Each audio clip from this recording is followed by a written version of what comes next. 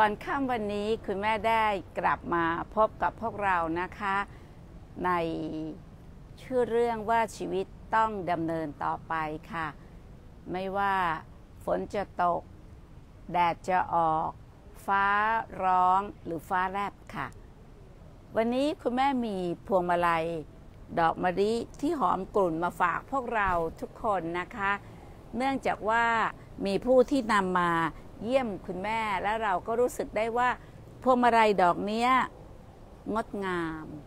ด้วยหัวใจของคนตั้งแต่ปลูกต้นมะลิ เก็บดอกมะลิ ร้อยมะลิเป็นพวงมาลัย ในทุกขั้นตอนโดยเฉพาะตอนที่มีใจของใครคนหนึ่งมอบให้กับใครคนหนึ่ง ในฐานะของเพื่อนร่วมทุกข์ ก็ดูจะงดงามเป็นพิเศษจริง ๆ ค่ะ เมื่อเช้านี้รอคุณแม่อยู่หรือเปล่าคะก็ไม่ได้เกเรหรอกค่ะ แต่ถูกบังคับให้พักเล็กน้อย ก็เลยคิดว่า เดี๋ยว คืนนี้เราส่งนอนกันด้วยปัญญาที่เราจะใช้หัวใจในการแก้ปัญหาอย่างมีปัญญา เพื่อให้เรายังมีชีวิตที่ยังดำเนินต่อไป อย่างหมดจดงดงาม ด้วย การฝึกที่จะมีชีวิตที่ละได้ บรรเทาได้ ถอดถอนอวิชชาได้ เลือกมุมนี้เพราะเห็นแสงสวยค่ะ แสงสวยจริงๆ ต้องบอกว่าพระอาทิตย์ตกอยู่อีกฝั่งหนึ่ง แต่แสงมาสว่างอยู่อีกฝั่งหนึ่ง นี่ไม่ใช่พระอาทิตย์ตกนะคะ แต่เป็นการสะท้อนของพระอาทิตย์ที่ตกในฝั่งตะวันตก แต่สะท้อนมาอีกทีหนึ่งต้องบอกว่า เป็นธรรมชาติที่แสดงธรรมจริง ๆ เวลาที่เรามองเห็นอะไรสักอย่างหนึ่ง ที่มันสะท้อนความงดงาม ถึงแม้ว่าต้นแบบจะหายไปแล้วจากโลกใบนี้ แต่แสงเงาและผลแห่งกรรมที่จะทำให้โลกใบนี้ยังงดงามอยู่ได้สำคัญนักค่ะ สิ่งเหล่านี้จะเกิดขึ้นได้ก็ต่อเมื่อต้องมีความกตัญญู และกตัญญูเท่านั้นไม่ได้ค่ะ ต้องมีกะตะเวทิตาคุณด้วย คือนอกจากจะมีความกตัญญูแล้วก็สนองงาน ให้สิ่งที่เรากตัญญูถึงแม้ว่าจะละโลกนี้ไปแล้ว ก็ยังทิ้งแสงทองที่งดงามเหมือนเย็นแบบนี้นะคะ คุณแม่ขออนุญาตที่จะยืนมองทางด้านนี้ แล้วก็อยากจะบอกว่า เวลาที่พระอาทิตย์ตกดินเนี่ยหลายคนอาจจะรู้สึกหดหู่ ซึมเศร้า ถ้าใครที่มีอาการเหมือนปรุงแต่งว่า ฉันถูกทอดทิ้ง ฉันรู้สึกว่าเว มันจะซึมไปเลยค่ะ บางคนทนไม่ได้กับแสงของพระอาทิตย์ที่ตกดินนะคะ คือทนไม่ได้ที่จะอยู่คนเดียวไม่ได้ แต่จำไว้ เราพบใคร เราต้องรู้ว่าสุดท้ายของการพบคือการจากพรากค่ะ เราจะทนได้หรือไม่ได้ การจากพราก เป็นสิ่งที่มนุษย์สุดจะเลี่ยงจริง ๆ ค่ะ เป็นเรื่องที่จะเกิดขึ้นกับคนที่เรารักทุกคน จงใช้เวลาที่ดีที่สุด สมบูรณ์แบบ ด้วยการเข้าใจกันอย่างลึกซึ้ง ถึงแม้ว่าจะมีอะไรบางอย่างที่มันไม่เหมือนกันบ้าง มันไม่เป็นไปตามใจเราบ้าง แต่ก่อนที่เขาจะจากเราไป ใช้คำว่าจากเราไปแบบชนิดที่เรียกว่าเขาไม่ได้กลับมา เราได้ปฏิบัติต่อเขาอย่างสมบูรณ์แบบที่สุด เท่าที่เราจะให้อภัยได้ และไม่ว่าอะไรจะเกิดขึ้น ความกตัญญูกตเวทิตาคุณจะยังอยู่ในใจของผู้ที่ยังดำรงอยู่เสมอค่ะ ชีวิตยังต้องดำเนินต่อไปนะคะ สวยงามไหมคะ วันนี้ถ้าใครสวยงามช่วยกดมาหน่อยเลยค่ะ แสง สวยงาม ไม่แพ้ที่หุบเขาโพธิสัตว์เลยค่ะ แล้วดูที่หุบเขาโพธิสัตว์จับต้องยากเพราะไกลเหลือเกิน แต่ที่เนี่ยแตะง่ายๆเลยนะคะ ใครสังเกตว่า ถ้าเอื้อมมือก็แทบจะแตะแสงทองนี้ได้เลยทีเดียว แล้วก็เป็นจังหวะที่ คุณแม่เดินขึ้นมาวางแผนที่เราจะทำรายการ มีโอกาสที่จะเล่าเรื่องที่เป็นเรื่องราวเล่ากุศลทางหุบเขาโพธิสัตว์ วันนี้ทาราฟาร์มกำลังดำเนินต่อไปขอบคุณนะคะอาสาสมัครหัวใจโพธิสัตว์ แล้วก็ทีมเวิร์คคือคณะแม่ชีที่เหลืออยู่ ตอนนี้ออกพรรษาแล้ว คณะไม่ชีที่ปรวนาพรรษาใน 40 พรรษากับคุณแม่เดินทางถึงบ้านแล้ว ให้เปลี่ยนเครื่องแบบแต่ยังศึกษาต่อไปนะ เราราเครื่องแบบแต่การปฏิบัติของเรายังอยู่ คุณแม่ขอบคุณพวกเราทุกคนที่มาอยู่รวมกันในพรรษานี้ อย่างมีหัวใจที่ทั้งละราคะบรรเทาโทสะถอนอวิชชา อาถานขึ้นเกิดใหม่ขึ้นชีวิตยังดำเนินต่อไป อย่างที่เรามีธรรมะประคับประคองนะคะ การใช้ชีวิตของเราทางโลก จะเรียกว่าปฏิบัติธรรมประพฤติธรรม หรืออะไรก็ตาม ก็ไม่ได้เป็นสิ่งที่จะยับยั้งให้เราเข้าถึงมรรคผลนิพพานนะคะ ใครจะเรียกอะไร สิ่งที่เรียกนั้นถ้าเราไม่ติดอยู่แค่สมมุติบัญญัติ เอามาสู่การปฏิบัติที่ละวางราคะโทสะโมหะ นั่นคือการทิ้งที่สมบูรณ์แบบที่สุดเพื่อความงดงามต่อไปของเราค่ะ ก็ลองดูนะคะแสงเริ่มมาทางฝั่งนี้แล้ว เราจะเห็นเลยค่ะ ถ้าไล่ไปเรื่อยๆ ก็จะเห็นถึง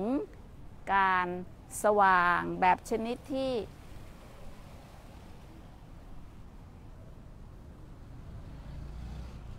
คือแสงเงามันก็เคลื่อนไปนะ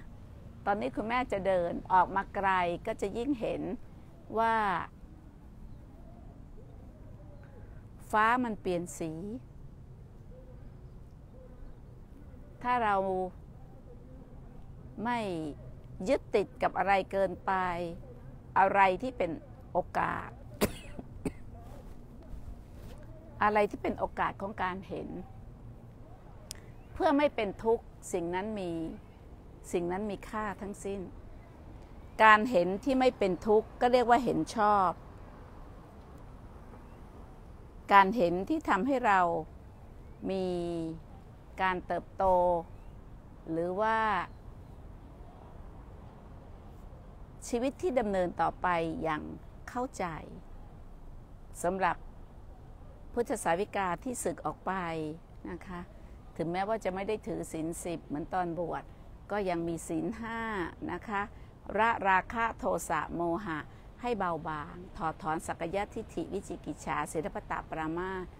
คุณธรรมเหล่านี้ก็ได้ชื่อว่าเป็นอริยชนนะคะ คุณแม่ก็ส่งความรัก แล้วก็ พุทธสาวิกาที่บวชเนื่องในการถวายเป็นพระราชกุศล ต่อพระบาทสมเด็จพระเจ้าอยู่หัวในรัชกาลที่9เนี่ยวันที่ 13 ถ้าใครจัดเวลาได้ คุณแม่อยากให้เรามาร่วมปฏิบัตินะคะ เป็นการอุทิศถวายพระราชาอันเป็นที่รักของเรา แม้จะเสด็จสวรรคตไปแล้วหลายปี 4 ปี แต่การที่เราได้บวชเรียนร่วมกันมา ในการที่ ได้ปฏิบัติดีปฏิบัติชอบเนี่ยวันที่ 13 เราจะยกพระพักและส่วนของอกของพระริยะธาราที่เป็นบรอนเข้าสู่หุบเขาโพธิสัตว์ คุณแม่ก็เชิญชวน พวกเราทุกคนเลยค่ะ แล้วก็ผู้ที่เคยบวชเรียนที่ได้ผ่านการเปลี่ยนรหัสชีวิต อันเนื่องจากการสวรรคตของพระองค์ จนเราได้กตัญญูกตเวทิตาคุณ มีชีวิตที่เติบโตและดำเนินต่อมาอย่างงดงามนี้ ได้มีโอกาสไปรวมกันที่หุบเขาโพธิสัตว์นะคะ ภาคเช้าก็จะเป็นเรื่องของการยกองค์บรอนเข้าสู่มณฑลหรือว่าแมนดาราแล้วจากนั้นเราก็จะทำเรื่องห่วงโซ่ของชีวิตที่เป็นรูปธรรม จะขึ้นไปดูงานป่าเปียก ซึ่งเป็นงานในโครงการพระราชดำรินะคะ ที่จะทำให้เกิดห่วงโซ่ของชีวิต เห็น สายชีวิตของเราที่เป็นสายใยนะคะ แห่งชีวิต เห็นทาราฟาร์ม แล้วก็เห็นศิลปะในการปลูกปรุง แปลงรับปันที่เป็นรูปธรรม แล้วก็สุดท้ายในภาคเย็นนะคะ เราก็จะวางหินเป็นแมนดารา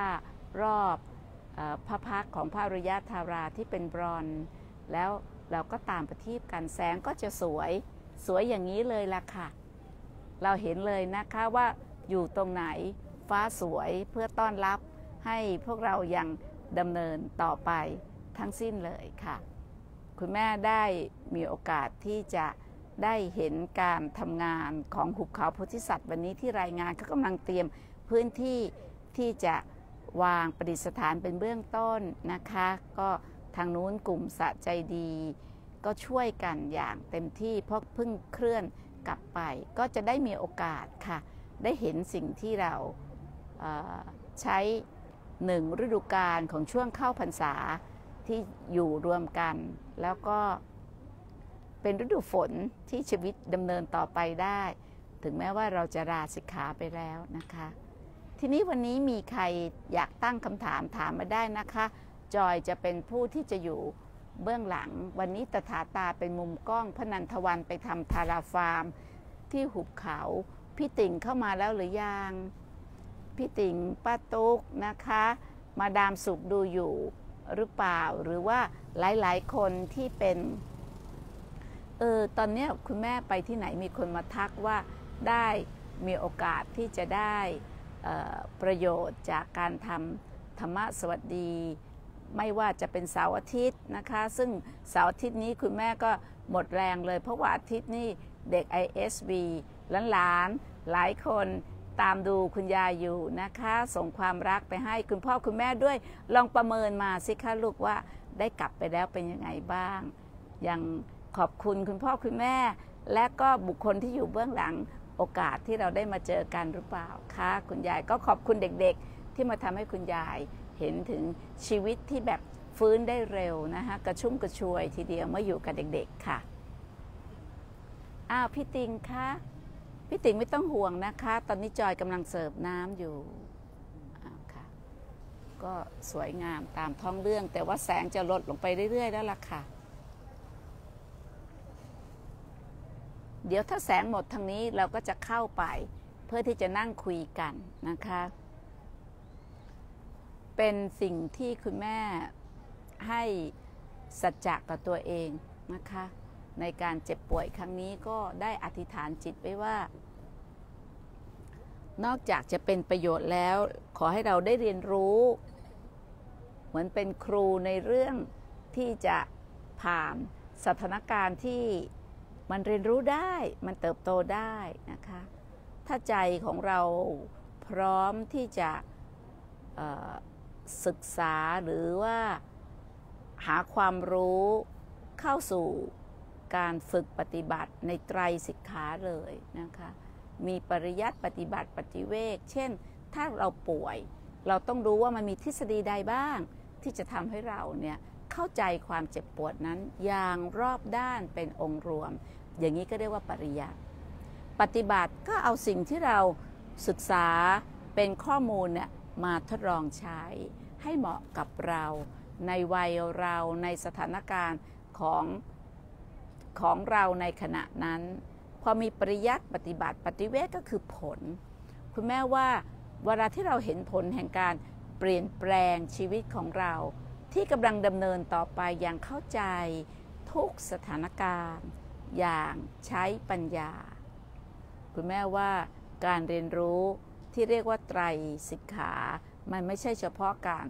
ศึกษาธรรมเท่านั้น แต่มันคือการประพฤติธรรมของคุณแม่ด้วยในเวลาที่ดูแลร่างกายที่ป่วยไข้ เมื่อเช้าเนี้ยที่จริงเขาก็พร้อมอยู่ คุณแม่จะลุกออกมาทำงานแล้วล่ะค่ะ แต่ก็ด้วยความเกรงใจร่างกาย ก็ขอให้ตัวเองได้พักสักหน่อย แล้วมันก็ดีจริง ๆนะคะ พอพักแล้ว แล้วก็ไปดู กายใจของเราในเชิงของการเเฝ้าสังเกต เวลาที่ได้คุยหรือได้แลกเปลี่ยนกับคนที่มีความรู้เฉพาะทางในเรื่องนั้นๆ คุณแม่ก็แม่นยำในการปฏิบัติของคุณแม่นะคะ ก็ถือว่าเป็นการแลกเปลี่ยนกันส่วนผลจะเป็นปฏิเวกหรือไม่ก็ติดตามดูผลค่ะ แต่ว่าให้มั่นใจได้เลยค่ะว่าเราจะมีชีวิตที่ดำเนินต่อไปนะคะ ถ้าแสงตรงนี้หมดแล้ว ในกล้องหมดหรือยัง คุณยายขอไปนั่งดีไหมเราจะได้ได้ดื่มน้ำนะคะอาตามมา ดูแสงเงาของสถูปะที่อยู่ข้างนอก แล้วสะท้อนมาที่ที่พื้นนะคะ สวยงาม ชัดเจนทางด้านเนี้ยค่ะ ถ้ากล้องมาทางด้านเนี้ยจะเห็นเลยว่า เหมือนเรากำลังเดินอยู่ใน ร่มเงาของ หัวใจแม่หัวใจโพธิสัตว์ ซึ่งต้องบอกจริงๆเลยว่า เวลาที่กลับมาที่เสถียรหนึ่ง บริเวณนี้เป็นบริเวณที่คุณแม่มีความสุขอีกครั้งหนึ่ง ที่จะเห็นการดีไซน์นะคะเนี่ยคือลักษณะของการดีไซน์ และเป็นการดีไซน์ที่คุณแม่ก็ใช้ความปรารถนาที่จะให้เห็นเงา สะท้อน เพื่อเกิดการ เข้าใจว่า เรามีกรรมเป็นกำเนิด เพราะฉะนั้นเราอยากเห็นเงาของเราเป็นอย่างไร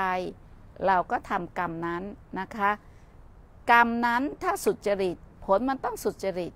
นั้นเราจึงเห็นว่าการดีไซน์มหาสมุทรแห่งปัญญาที่ที่จริงอันเนี้ยคุณแม่ตั้งใจว่ามีน้ำอยู่ข้างล่าง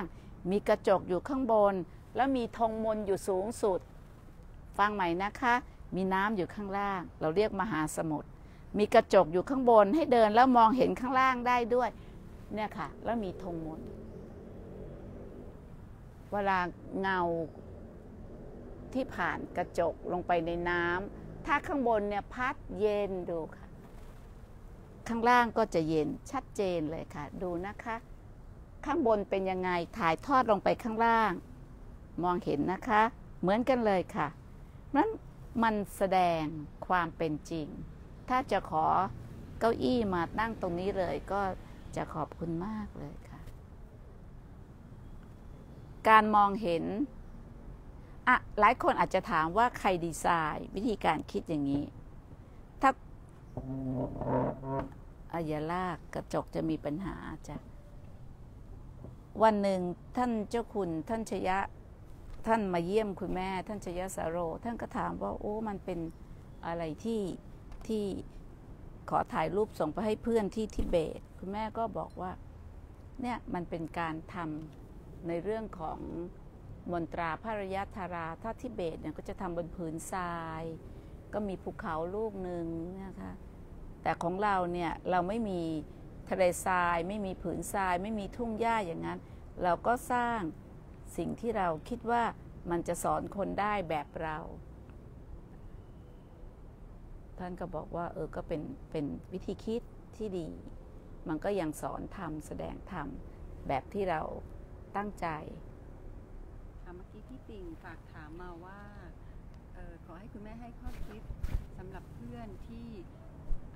อาจโชคไม่ดีที่จะต้องเข้าไปชดใช้กรรมค่ะชดใช้ค่ะชดใช้ชดใช้ในใน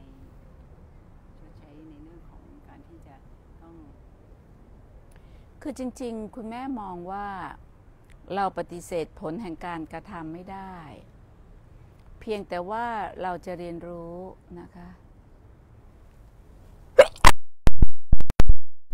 เราจะเรียนรู้ที่เราจะเผชิญ กับสิ่งที่เราปฏิเสธไม่ได้อย่างเป็นกุศลให้ได้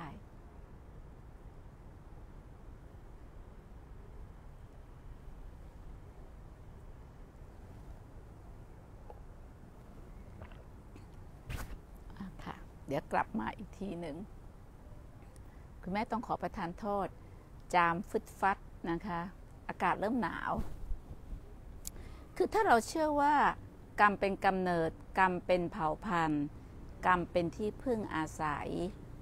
เราทำกรรมใด ถ้าเวลาที่เราไปแก้กรรมในอดีตไม่ได้ เราก็ต้องเผชิญกับสิ่งที่เราไปแก้ไขอดีตไม่ได้ อย่างเป็นกุศล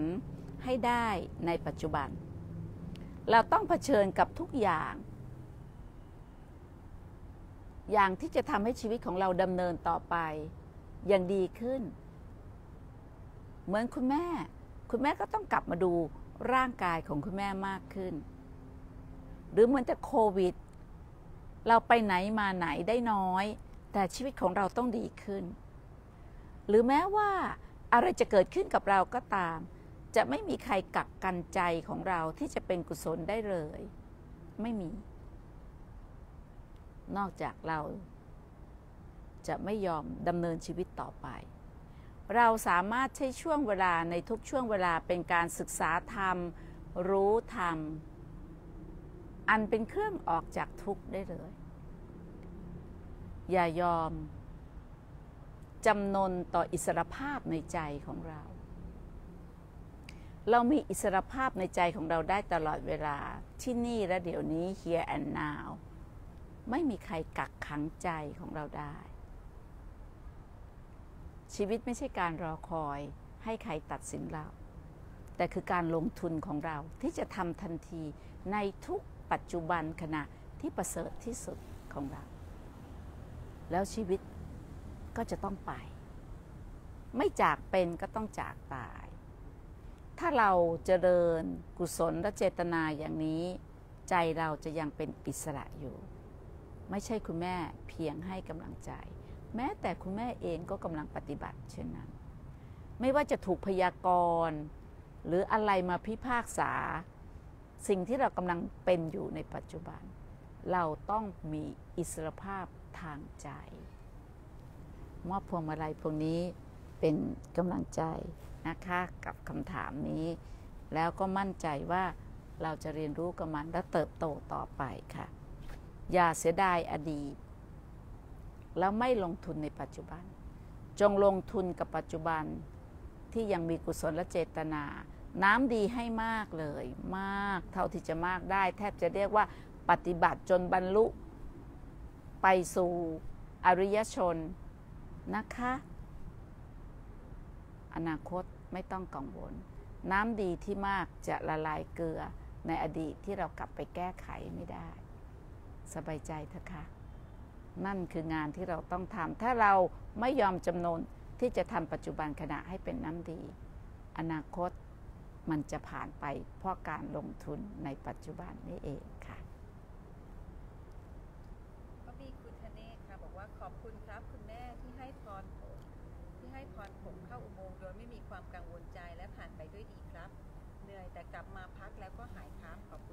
ค่ะ มอบพวงมาลัยให้คุณธเนศด้วยนะคะ รับด้วยกัน วันนี้ค่ะ ก็มีผู้ที่มาถวายพวงมาลัยนี้ เพราะว่าทราบว่าคุณแม่ป่วย เราก็อยู่กับความเจ็บป่วยเนี่ยค่ะ อย่างคนไม่ติดไม่ติดใช้คำว่า ร่างกายป่วยแต่ใจไม่ได้ป่วย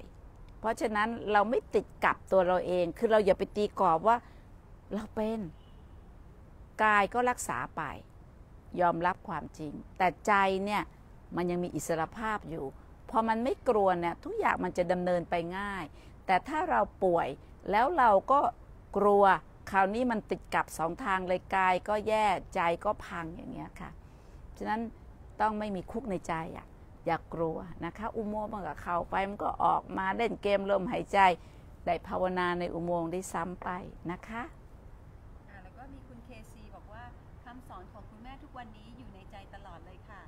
ามมีอะไรเกิดขึ้นทั้งสุขและทุกข์นึกถึงคำสอนคุณแม่ทุกครั้ง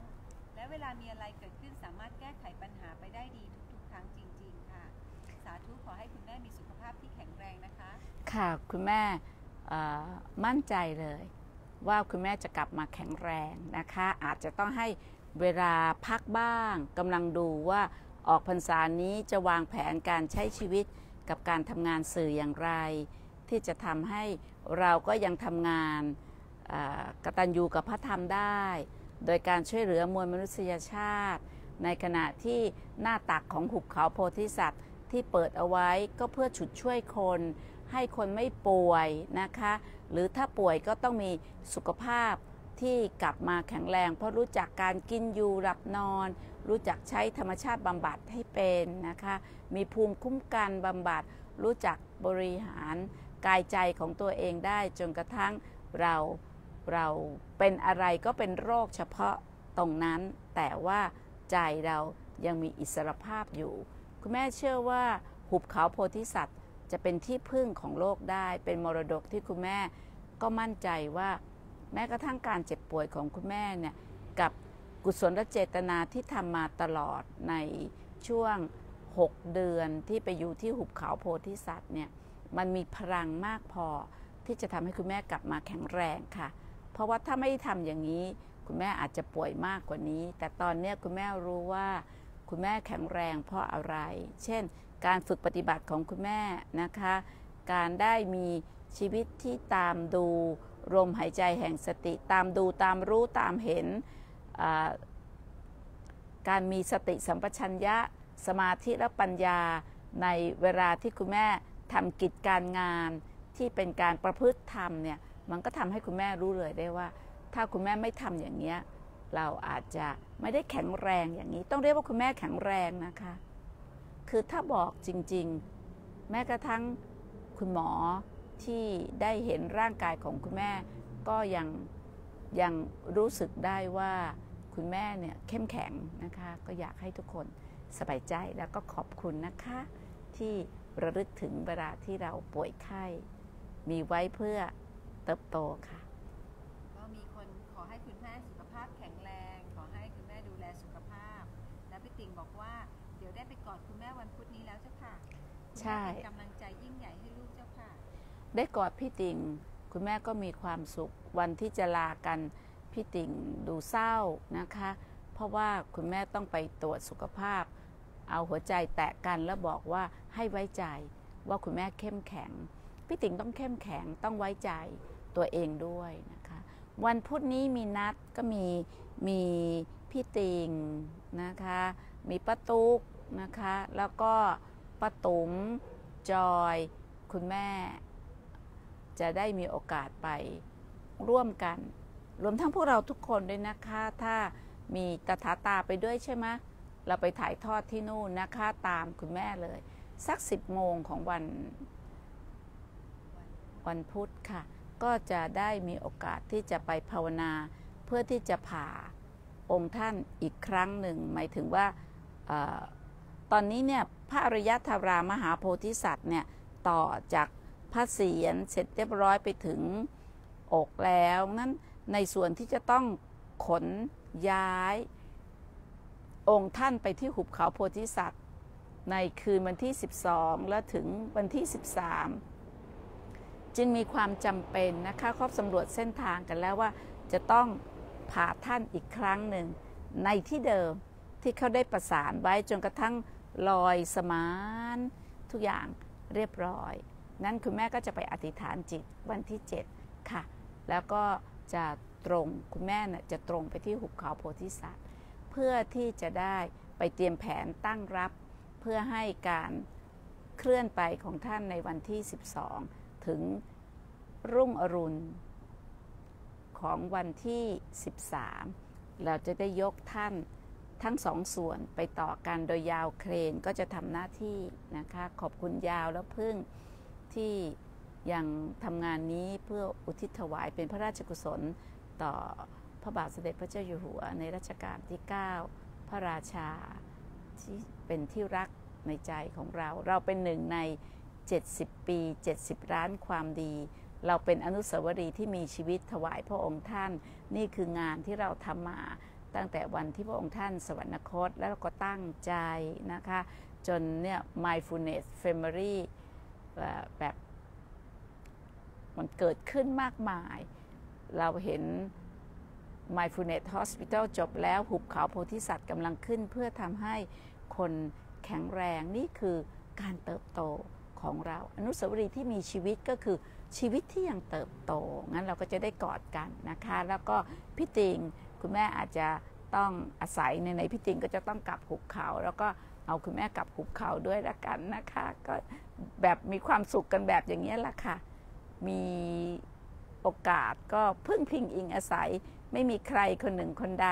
ที่เก่งจนไม่ต้องอาศัยใครแม้กระทั่งคุณแม่เอง ก็อาศัยลูกศิษย์ลูกหานะคะ พี่ป้าน้าอา แล้วก็คนที่มาปรารนาว่ามีอะไรก็ขอให้บอกต้องขอบคุณค่ะ ในทุกการเสียสละชีวิตที่ต้องดำเนินต่อไปก็เป็นเช่นนี้แหละ มันต้องพึ่งพิงอิงอาศัยค่ะค่ะ ตอนนี้ก็มีกราบสาธุกันมาเต็มไปหมดเลย แล้วก็ขอให้คุณแม่สุขภาพแข็งแรงค่ะ ประเด็นสุขภาพของคุณแม่หลายคนอาจจะเห็นว่าเป็นประเด็นที่น่าห่วงนะคะ คุณแม่เนี่ยตั้งสัจจะอธิษฐาน ว่าการเป็นประโยชน์ของคุณแม่ในรอบนี้ก็น่าจะได้เรียนรู้ถึงวิธีการนะคะที่จะเ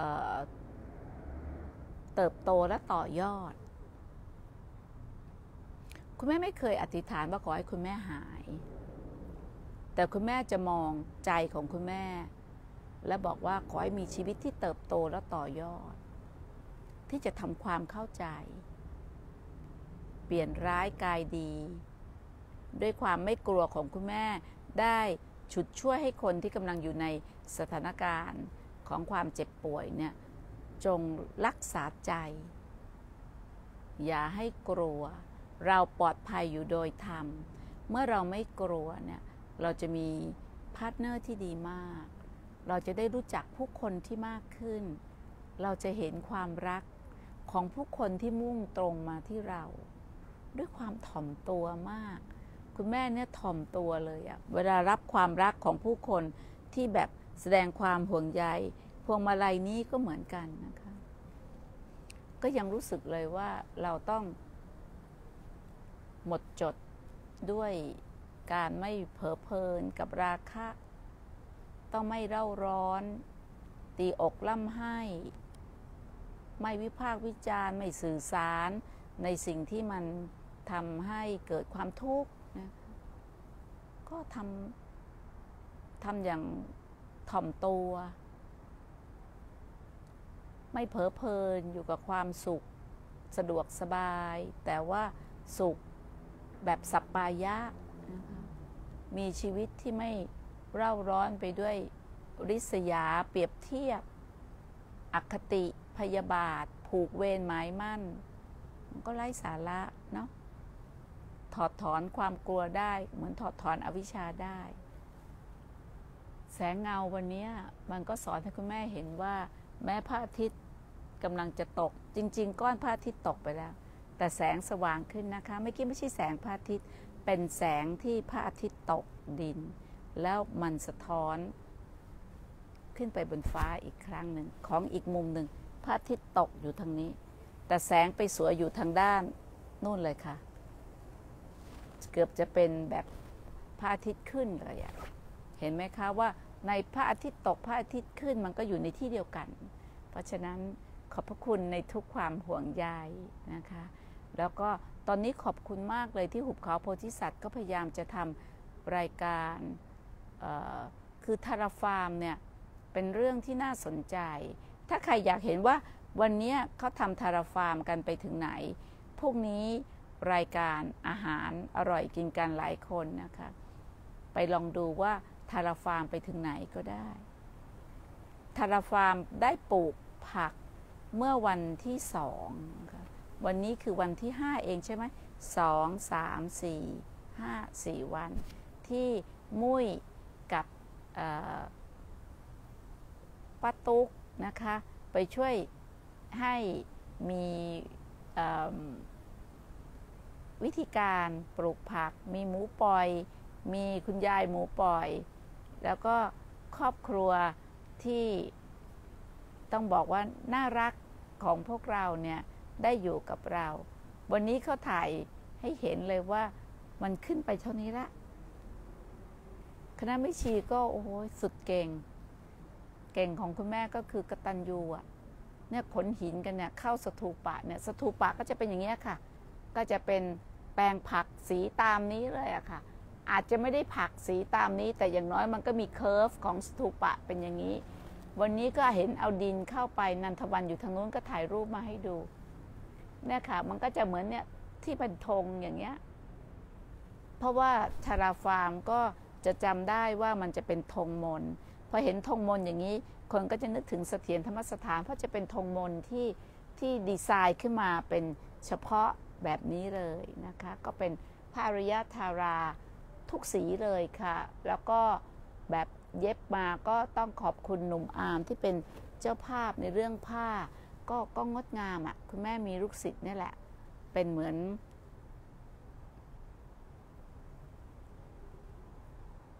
ท่านเจ้าคุณอาจารย์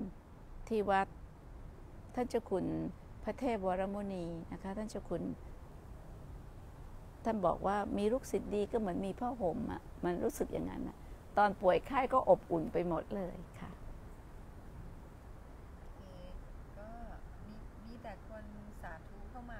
คำถามไม่มีคำถามไม่มีมีแต่ว่ากราบ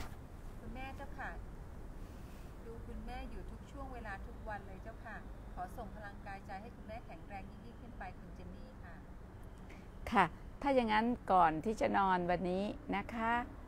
ก็ขอให้ทุกคนได้รักชีวิต แบบเคารพชีวิต เคารพทุกโอกาสที่เราได้เรียนรู้ เพื่อความเป็นอิสรภาพอย่างแท้จริง ตราบใดที่เรายังมีลมหายใจแห่งสติสติเผชิญกับทุกเรื่องราว ที่เราปฏิเสธไม่ได้ อย่างพ้นทุกข์ได้ เพราะการมีสติสัมปชัญญะสมาธิและปัญญา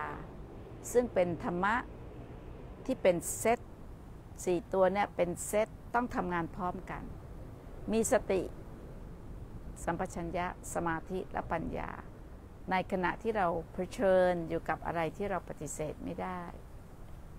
แต่ว่าเรา เติบโต เพราะเรายังลงทุนในเหตุ ด้วยกุศลและเจตนา ที่จะทำให้เรายังดำเนินต่อไปอย่างพ้นทุกข์ อย่างนี้เรียกว่าไม่ยอมจำนน เล่นเกมลมหายใจแห่งสติ จนกระทั่งเราแน่ใจว่าถ้าวันนี้เป็นช่วงสุดท้ายของชีวิต เราก็สงบเย็นและเป็นประโยชน์ ให้คิดถึงประโยชน์ที่จะเกิดขึ้น จากการเผชิญต่อสิ่งที่ยากลำบากนี้ แล้วเราก็จะมั่นใจ ว่าจะผ่านมันไปอย่างไร ไม่ใช่มั่นใจอย่างงอมืองอเท้า แต่เราจะมั่นใจ ไม่กลัวจะผ่านมันไปอย่างไร มีชีวิตที่ดำเนินต่อไปอย่างเป็นอิสระได้ เพราะใจ ของเรา มันถูกฝึกไว้ดีแล้ว ทุกวัน ก่อนนอน ถ้าได้ตื่นอีกก็ฝึกอีก หลับไปพร้อมกับการฝึกหัดขัดเกลาฝึกฝนจนกระทั่งเราคมพอที่จะใช้มันตักเอาวิชาได้ แล้วไม่ปรุงแต่งตามที่อวิชามันครอบงำเรา การรับรู้ของเราจะกลายเป็นรู้แจ้งแทงตลอด เมื่อเราไม่ปรุงแต่งระรับรู้ได้อย่างที่มีปัญญา แทนอวิชชาเมื่อละอวิชชาไปแล้วมันก็เป็นวิชาคือความรู้แจ้งวอแวนสรีชอช้างสองตัว นั่นคือเวลาที่เหลือของเรา สั้นแล้วสด ทุกคนมีชีวิตที่สั้นทั้งนั้นค่ะ แต่ใครจะสด ยาว แล้วไม่สด มันก็ไม่มีประโยชน์ค่ะ สั้นยาวไม่มีใครกำหนดได้เท่ากับเรา สั้นแล้วสด ยาวแล้วก็สด ประโยชน์สูงสุด อยู่ที่เราสด ชีวิตมันก็แป๊บเดียวค่ะ เหมือนหม้อดิน ถือไม่ดีตกก็แตก เพราะฉะนั้นประคองชีวิตให้เหมือนกับประคองหม้อที่เราต้องระมัดระวัง แล้ววางให้ถูกที่ถูกทาง ถ้าเผื่อว่าเราวางผิดที่วางไว้ดีแล้ว แต่คนอื่นวิ่งมาชนแตกก็มี ฉะนั้นวางให้ถูกที่ถูกทาง โดยเฉพาะวางใจของเราที่จะเรียนรู้อย่างมีสติสัมปชัญญะสมาธิและปัญญา ใช้สมมุติที่เหลือนี้เข้าถึงวิมุตติให้ได้นะคะ วันนี้บรรยากาศดีเหลือเกิน นั่งแล้วเย็น เดี๋ยวจะก็ไปนอน แล้วก็ให้ภาวนาต่อเนื่องเลยนะคะ ให้เห็นเลยค่ะ รู้ทันไหวใจตื่น ลมมากระทบธงมนก็พัดมนออกไปในจักรวาลนี้ โอมแต่เรตุเตเรตุเรสวาหาออกไปขจัดความกลัวในหัวใจของเราทุกดวง ให้อภัยตัวเอง และ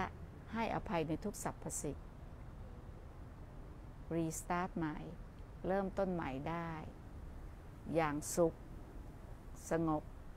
เย็น แล้วเป็นประโยชน์ร่วมกันนะคะ วันนี้คุณแม่ลาไปพักก่อน เราควรจะพักไปด้วยกันค่ะ ธรรมะสวัสดีนะคะ